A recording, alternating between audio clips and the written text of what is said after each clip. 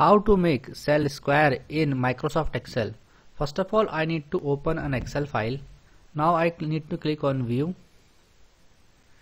Click on page layout. Now click on this option. Right click here. Click on column width. Type in 1.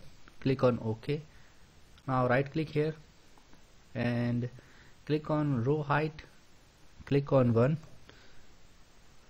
and click on OK that's it. Now click on normal view.